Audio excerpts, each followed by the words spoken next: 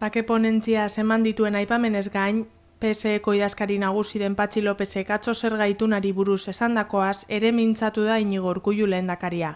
Eta adierazi duenez, EAJ eta PSEren arteko zer gaitunak aurrekontuetarako bidea irekitzen du, eta honek Eusko Jaurlaritzak aldarrikatzen duen egonkortasun instituzionala ekarriko lukeela gehitu du.